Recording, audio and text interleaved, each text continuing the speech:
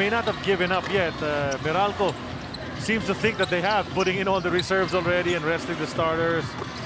Gavi, uh, Javi, rather. Javi Gomez de Liaño. His uh, three-pointer. Take another look at it. Oh, merong nag-shake pa ng mga shoulders ng konti. Eh, pero tsaka very ganda nung nice. ano, yung follow Get the through. release. Ganda, And then we oh. always tell the, the, the But Toto Tubit is playing in a uh, 40 and above uh, Yeah. league. Of course, with UE, ito gumagawa pa rin. Oo. Pa-20-20.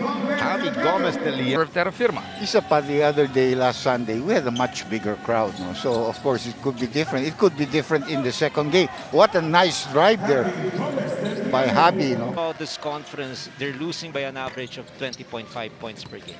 So how are you going to improve? Go back to fundamentals. Make sure you outwork your opponents. Get offensive rebounds. I know it's not He was nawala, looking to go wall to nawala wall. naman ang bola. Kahilig though got a hand on it. And it is going to be a Whoa! two-on-one. What a euro by Javi! Sabi sa iyo, itong player na ito, and he's much slim. Oo, parang rookie ba yan? Di ba?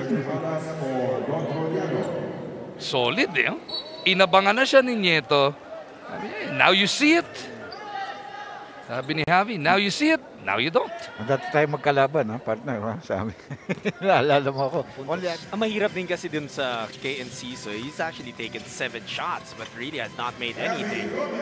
Uh, Sabi Gomez de Leano, he's provided bahagya. Kaya mas madali makapenetrate. At yun naman, yung sinasabi nating uh, o steal naman na habulin yan. Wag lang turnovers. Masakit na sa San Miguel Pero yun. of course, knowing Junmar Fajardo is not really a statistics-conscious person. But uh, he's Gabaini looking to hand off to JD, uh, GDL, JGDL to the hoop. Yeah, and he scores. Pumasok na rin yung kanya. scored Wow. by TNT in this contest. 21 of the 34 from Rainbow Country. GDL to the hoop. but the, the middle of his torso, it hit his shoulder. So uh, obviously uh, that merited a defensive foul. What about Gomez de Liaño asking and begging the baseline referee Noel Quilinguen? He generates two points.